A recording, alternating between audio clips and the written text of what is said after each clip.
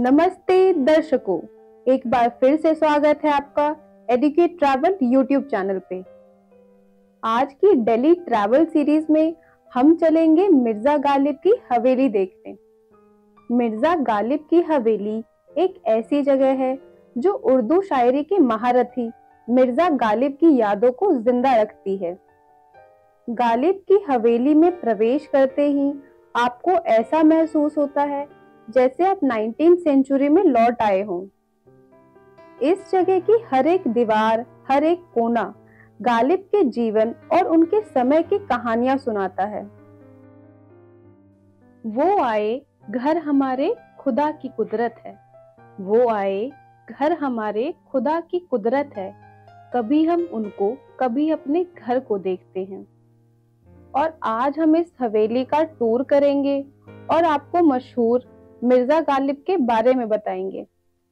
गालिब का जन्म 27 दिसंबर सत्रह को आगरा में हुआ था। इनका असली नाम मिर्ज़ा असदुल्ला बेग खान था।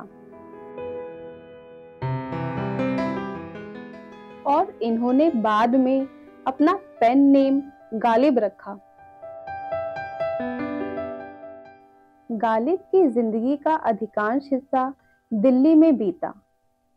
इस हवेली में आने से पहले गालिब ने अपनी पहली गज़ल सिर्फ़ 11 साल की उम्र में लिखी थी। अगर आपको ये हवेली देखनी है तो आपको सबसे पहले टिकट्स लेनी होंगी और इन टिकट्स का प्राइस काफ़ी कम रखा गया है। उनकी गजलें और शायरी ने ना सिर्फ़ उन्हें अपने टाइम पर शोहरत दी, बल्कि आने वाली पीढ़ियों को भी एक मार्ग दिखाया। ये हवेली जो उनका घर थी उनकी ज़िंदगी और उनकी शायरी का एक अहम हिस्सा है। मिर्ज़ा गालिब फारसी और उर्दू भाषाओं के एक प्रसिद्ध कवि थे। पुराने दिल्ली के चांदनी चौक के हलचल भरी सड़कों के बीच छुपी है मिर्ज़ा गालिब की हवेली। मिर्ज़ा गालिब की हवेली पुराने दिल्ली के बल्ली मारान में कासिम जान गली में स्थित है। यह हवेली गालिब को एक हकीम ने उपहार के तौर पर भेंट की थी। इस हवेली में गालिब ने 1860 से अठारह सौ उनहत्तर तक अपने जीवन का अंतिम समय बिताया। यह हवेली दो मंजिला हुआ करती थी। इस हवेली में गालिब से जुड़ी कई चीज़ों और उनकी रचनाओं को रखा गया है। दिल को चाहिए कि फिर से उड़ने की तैयारी कर ले। दिल को चाहिए कि फिर से उड़ने की तैयारी कर ले, अभी तो सफ़र का पहला पड़ाव है। हवेली का माहौल लाइटिंग डेकोरेशन क्ले मॉडल्स और पर्दों की मदद से गालिब के समय जैसा बनाया गया है। मिर्ज़ा गालिब के जीवन की झलक पेश करते हुए यहाँ उनकी पसंदीदा पोशाक, लंबा कुर्ता और लंबी कराकुल टोपी प्रदर्शित की गई है। हवेली की दीवारों पर आपको गालिब द्वारा लिखी गई शायरी फ्रेम की हुई दिखेगी। यह हवेली आर्कियोलॉजिकल सर्वे ऑफ़ इंडिया द्वारा संरक्षित एक हेरिटेज साइट है। ईटों और पिलर से बनी यह हवेली मुगल आर्किटेक्चर का एक बेहतरीन नमूना है। दिल्ली सरकार ने इस हवेली को मेमोरियल म्यूज़ियम में कन्वर्ट कर दिया है। दीवारों पर टंगी तस्वीरों में आप गालिब का आगरा का घर, उनकी पत्नी का घर और पुरानी दिल्ली के जिस स्कूल में वो पढ़ाते थे, उसे देखेंगे। दीवारों पे आप गालिब द्वारा लिखे गए खतों को भी देखेंगे। शायरी का हिंदी और इंग्लिश ट्रांसलेशन भी आप यहाँ पढ़ सकते हैं। गालिब शतरंज और चौसर भी खेला करते थे।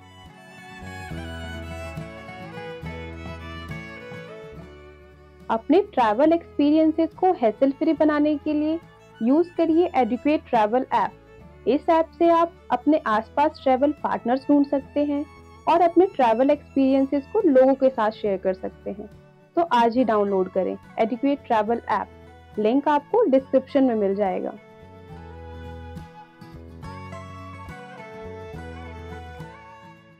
हवेली के अंदर आप गालिब की शायरी की कई फ़ेमस किताबें भी देख सकते हैं। गालिब अपनी शायरी कठिन फारसी भाषा में लिखते थे, जो आम लोगों को समझने में मुश्किल होती थी। पर उनकी उर्दू में लिखी गई गजलों को लोगों ने बहुत सराहा। इसके साथ ही मिर्ज़ा गालिब एक अच्छे खत लेखक भी थे, और वह इन खतों को सरल उर्दू में लिखते थे। खैरात में मिली खुशी। मुझे अच्छी नहीं लगती गालिब। मैं अपने दुखों में रहता हूँ, नवाबों की तरह। गालिब का जीवन हमेशा कष्ट, पीड़ा और दुख से भरा रहा। इसलिए उनकी शायरी में दुख झलकता है। जब गालिब पाँच वर्ष की उम्र के थे, तब उनके पिता की मृत्यु एक युद्ध में हो गई थी। इसके बाद गालिब की देखभाल उनके चाचा जी ने की। लेकिन जब वह नौ वर्ष के थे, तब उनके चाचा की भी मृत्यु हो गई। इसके बाद गालिब अपने नाना नानी के साथ रहने लगे। इश्क ने गालिब निकम्मा कर दिया। इश्क ने गालिब निकम्मा कर दिया, वरना हम भी आदमी थे काम के।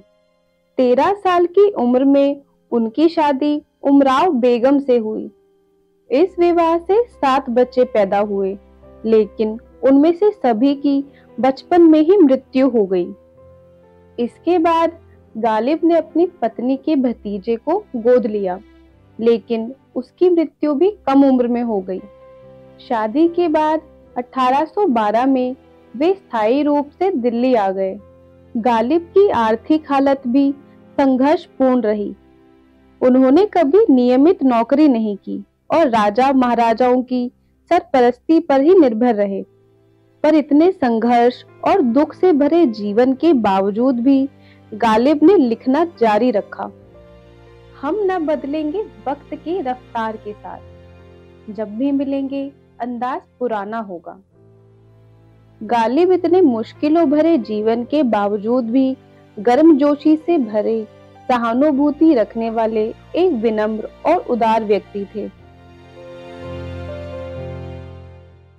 जो कहे सच्चे मन से अपना दोस्त, एक ऐसा दोस्त चाहिए। जो कहे सच्चे मन से अपना दोस्त, ऐसा एक दोस्त चाहिए।